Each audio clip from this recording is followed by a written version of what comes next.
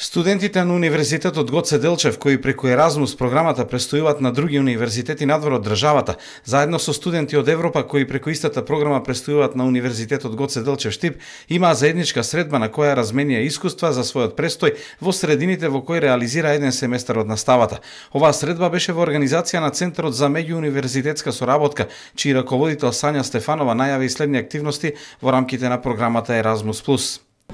Сања имате денеска средба со сите Еразмус студенти. За каква средба станува збор? Која е целта на ваквите средби? Станува збор за неформално дружење помеѓу Еразмус студентите кои што стотоку се вратија од Еразмус размена, како и со Еразмус студентите кои што се на Еразмус престој во нашиот универзитет и целата токму на овој настан е тие меѓусебно да се запознаат, да споделат своји искуства, како и да ги запознаат студентите кои што се еве овде. Исто така токму нова среба ги договараме нашите наредни активности бидејќи како Гоце Делчев универзитета планираме да организираме и Еразмус плюс отворени денови и настани програми кои што се надевам ќе бидат интересни за сите студенти во нашиот университет. Па така заедно со студентите кои што беа на Еразмус Плюс ќе организираме отворени денови со тоа што останатите студенти ќе имат можност директно да комуницираат со студенти кои што веќе имат искуство во таа програма, да дознаат повеќе за програмата. Па така ги поканувам сите студенти и воено ги охрабрувам да се а, пријават на наредниот повика. Еразмус Плюс отворените денови ќе бидат на 21 и 22, а 22 ќе биде датум каде што што сите студенти ќе можат да дојдат во кампус 2 на Универзитетот Гоце Делчев во Штип и да дознаат повише за програмата на Erasmus Plus, каде што ќе има и представници од Националната агенција за европски образовни програми, а таму ќе бидат и еве и студентите од Erasmus Plus, каде што ќе можат с нив да дискутираат и за сите прашања кои што ги има да ги постават и пред се да се дружат. Веќе гледам дека имаме повеќе студенти кои што дајат од странство кај нас.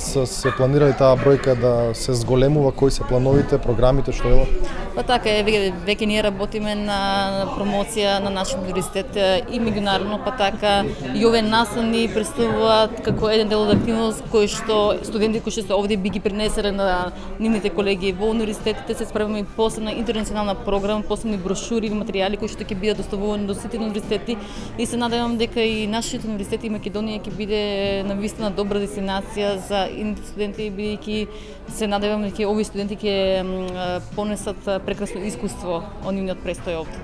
Две студентки од филолошкиот факултет Билјана Георгиева и Елена Самоникова има можност да се запознаат со високото образование, но и со многу други области од животот во Турција, односно Полска.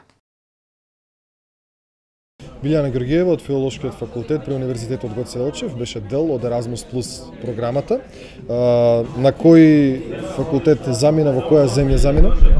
А, јас бев Еразмус студент на Универзитетот Сакарија во истоимениот град Сакарија во Турција на насока германски јазик и книжевност. Нормално да ќе те прашам кој беше твоето искуство таму, што на што успеа да го научиш, како се помина? Па, предходниот семестар имав супер искуство во а, Турција, како со а, професорите тамука, исто така и со моите колеги студенти и од Турција и останатите Еразмус студенти од другите држави, кои бевме многу на број. Тоа на што го забележа како разлика помеѓу овдешниот и тамошниот универзитет? А, па во суштина во однос на програмата и немаше некоја поголема разлика, значи а, беше истата програма, оние регуларни колоквиуми и а, испити, а може би само во однос на професорите можам да кажам дека беа така малку повеќе организирани со многу повеќе а, искуство. Сметам дека за секој студент е одлична можност да биде дел од Erasmus Plus програмата, затоа што ќе се стекне со многу големо искуство, со повеќе знаење и со многу пријатели.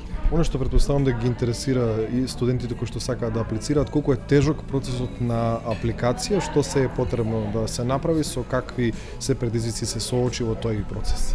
Затоа што предпоставам дека многу студенти се одвраќаат од помислата да аплицираат затоа што има многу документи или не знам што. А, па всушност а, и процесот на аплицирање а, овде пред да тргнеш, а, воопшто и воопшто не е тежок. Значи, а, има многу а, малку документи кои треба да бидат средени и кои можем да кажем дека може да бидат завршени за 2 до 3 дена. А, може би малку има потешкотија кога веќе ќе стигнеш во таа држава а, и кога треба да поминеш на сите тие аплицирања за виза, за престој и слично, но мислам дека не е воопшто комплицирано. не треба да биде пречка.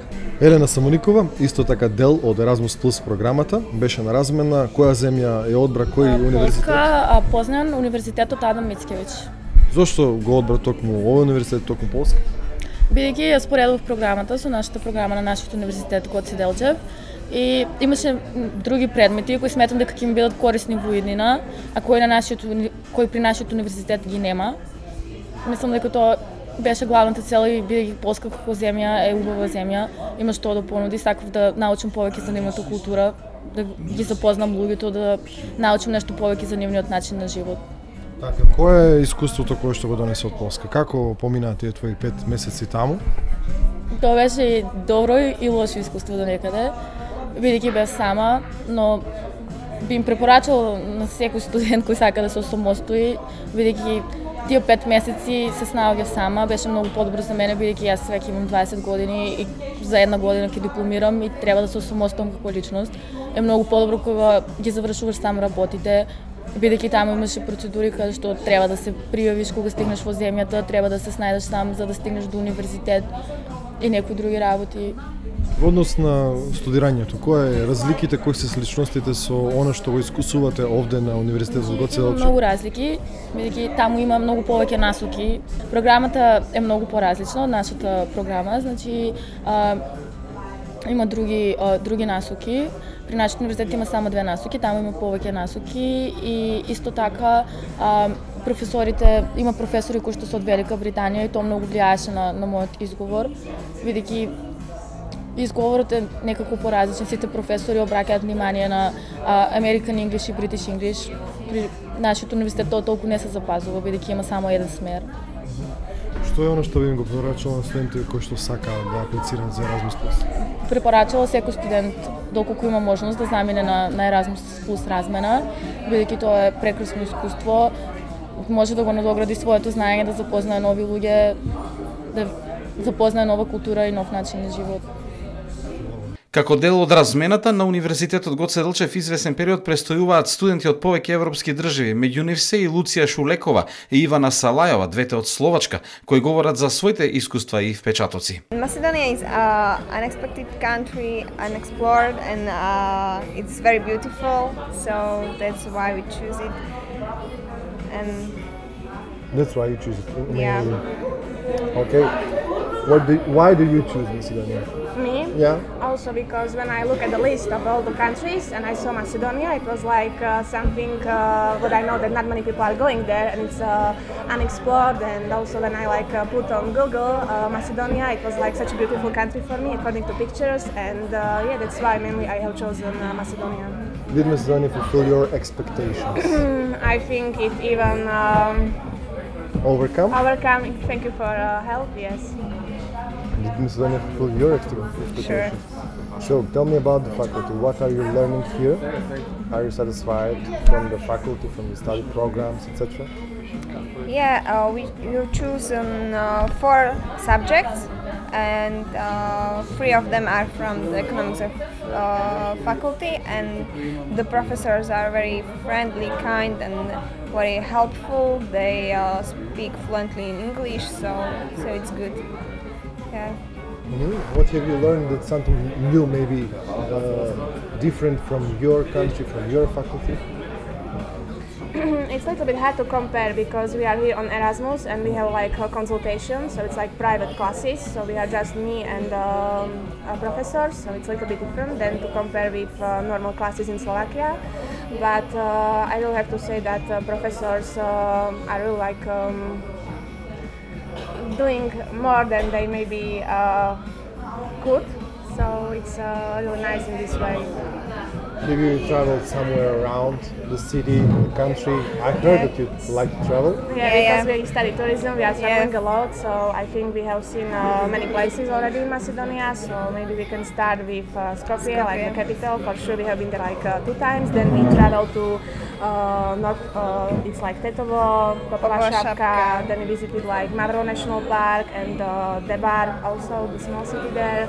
Also we visited the east part of Macedonia, we've been in Strumica and we saw uh, Kolašina and Smalari waterfalls.